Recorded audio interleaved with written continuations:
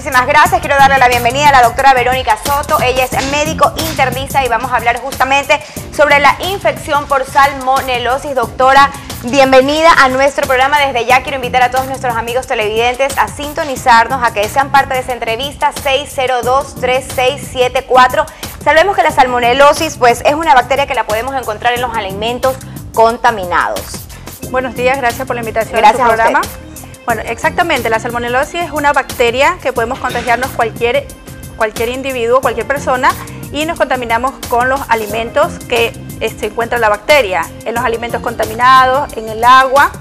Eh, Más que todo en el agua, ¿no? En, países, digamos, pequeños como el nuestro lo vamos a encontrar, por eso es importante siempre, por ejemplo, eh, tomar pues la mejor agua, tomar, que tiene que ser hervida eh, también inclusive hablamos en antes, doctora, con usted eh, sobre la leche. Hay mucha gente que dice, no, es que la leche si es que es recién salidita de la vaca, me la voy a tomar porque no hay nada mejor que eso. A veces nosotros que estamos siempre, eh, queremos cuidarnos, decimos, no, nos vamos a hacer un batido con los huevos fresquitos, no cocinados. Todo eso pasa muchísimo. ¿Qué pasa con eso, doctora? ¿Qué pasa con esos alimentos que nosotros creemos que son perfectos pero no lo son?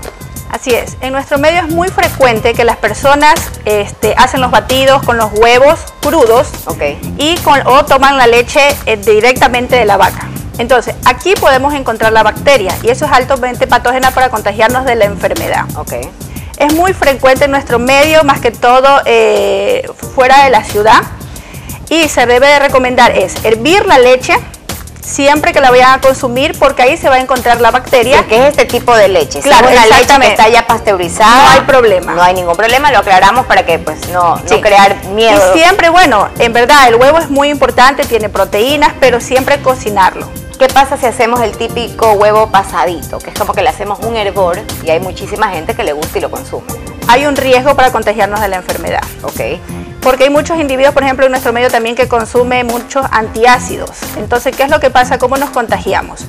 que este, el antiácido hace que no produzcamos mucho ácido clorhídrico en nuestro estómago y la bacteria es más fácil ingresar a nuestro organismo. O sea, es como que le estamos dando como que una apertura mucho más grande para que pueda ingresar en nuestro cuerpo. Y nos puede este, enfermar. Lo más frecuente es en los intestinos, que nos puede producir una gastroenteritis, este, diarreas frecuentes. Claro, y si hablamos de, intestino y hablamos de diarreas y todo eso, ahí también obviamente cuando uno va al baño siempre se recomienda lavarse las manos después de hacer sus necesidades, porque efectivamente después de eso podemos coger algún alimento.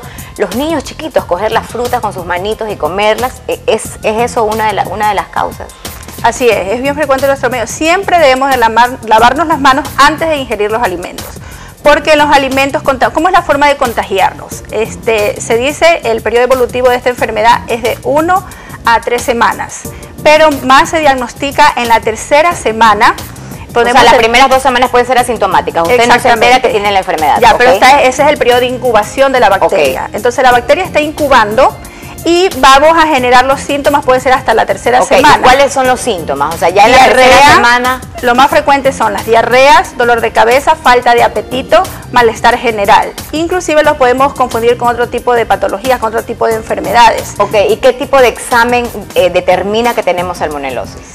El, el ideal es un un cultivo de las heces. Cultivo de las el cultivo de las heces. y esto así se llama en niños y en adultos. Exactamente. Coge las heces y hace un cultivo. Entonces ahí tenemos un diagnóstico confirmado de tener la bacteria, la tífica o paratífica. ¿Y qué pasa ahora en este tiempo que estamos mucho, bueno, aquí en la costa de playa, que vamos, venimos, que es inevitable, y lo digo porque todos lo vivimos, estamos en la playa y pasa el rico maduro, el rico choclito, los jugos, realmente un tema interesante, un tema importante, porque por supuesto nosotras como mujeres y como madres queremos lo mejor para nuestra familia.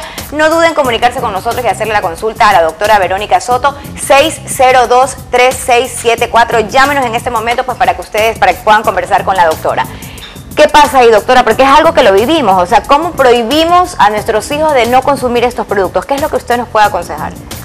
Sea, realmente evitar este tipo de cosas, como usted dice, cuando van a la playa es un poco difícil, pero debe tratar de tener el cuidado de las medidas higiénicas. Okay. Porque los que preparan los productos no sabemos si tuvieron una limpieza adecuada de los productos que están preparando. Una limpieza adecuada, doctor, y también como usted lo ve, pues estamos de repente, un día está un sol intenso, después de repente llueve, las comidas se dañan, las salsas se dañan, las cosas que usted está viendo que venden en la calle, todo eso, eh, ¿de qué manera afecta?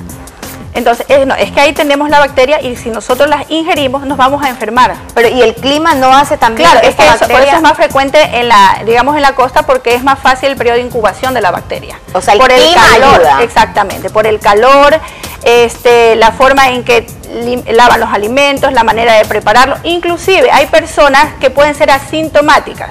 ¿Hasta que qué tienen- semana? Porque hablábamos hace un hasta tres que meses. dos, hasta tres meses. Sí, hay personas que tienen la bacteria, tomaron el esquema de antibiótico para la bacteria, no el tiempo que debían, dos, tres días, dejaron el O antibiótico. sea, hablamos de un tratamiento. Cuando el doctor le manda el tratamiento, usted lo toma dos o tres días, dejan el tratamiento porque ya se sienten mejor y entonces la bacteria, continúa. Exactamente, no es que matan, eliminan la bacteria. Lo que pasa es que la bacteria, digamos, se estabiliza ahí, pero se queda como un portador sano. ¿Qué significa eso? Que él va a continuar con la bacteria, quizás ya no tenga los síntomas, pero va La puede pasar Exactamente. Sí, no hay una buena limpieza de las manos. Cuando esta persona prepara los alimentos, entonces vamos a tener la posibilidad de infectarnos con los alimentos que ha preparado. Ok, hablamos de diarreas frecuentes, de dolores de cabeza, fiebre, no, no hay ¿Sí? fiebre. Fiebre también puede presentar el Pero paciente. también pueda que no lo presente. ¿Cómo sabemos entonces específicamente si esta persona está teniendo salmonelosis? ¿Solamente con el examen de heces que nos decía el cultivo general en heces? Exactamente, el cultivo también hay una prueba que el 50% nos ayudaría a orientar a tener el diagnóstico de la enfermedad, es la reacción de Vidal. Ok, ese es el otro examen. Exactamente, se la utiliza, no es un 100% para confirmar un diagnóstico, pero nos podría este, Dar una luz, por lo menos. Exactamente, cuando el paciente tiene los síntomas más una reacción de Vidal podemos orientarnos más, pero siempre es aconsejable que el individuo cuando empieza a tomar la medicación posterior al tratamiento hacer un cultivo de heces para ver si la bacteria ya no se encuentra en el Claro, paciente. muy importante, muy importante eso. Eh, doctora, vamos a recibir eh, nuestra primera llamada. Muy buenos días.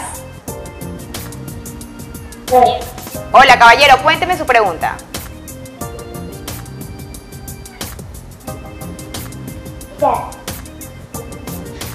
Hola, lo escuchamos. Buenas tardes, buenos días. ¿Cómo está? Buenos días, cuéntenos.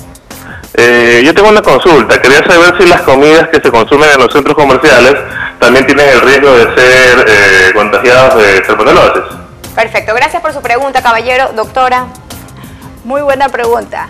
Sí, efectivamente, sí puede ser porque las personas que preparan los alimentos son personas, bueno, son trabajadores que hay que ver si tienen las limpiezas adecuadas. A pesar que existe un registro de salud, que todos van a investigar cómo preparan los alimentos y todo, pero 100% es decir confiable. La comida que está en los centros comerciales, que, viene- que está libre de salmonelosis, no. Por supuesto que está en un mejor ambiente, creo yo, porque está Sí. aire, aire acondicionado, no es que esté expuesto al sol, pero, Pero no efectivamente es- aquí viene la higiene de cada local, de cada, de cada centro comercial, de que cuide de cada uno de sus empleados. Muchísimas gracias, doctora, realmente nos ha ayudado muchísimo con este tema que es muy actual y muy importante para la salud de toda nuestra familia. Gracias, doctora. Nuevamente seguimos contigo, nenita.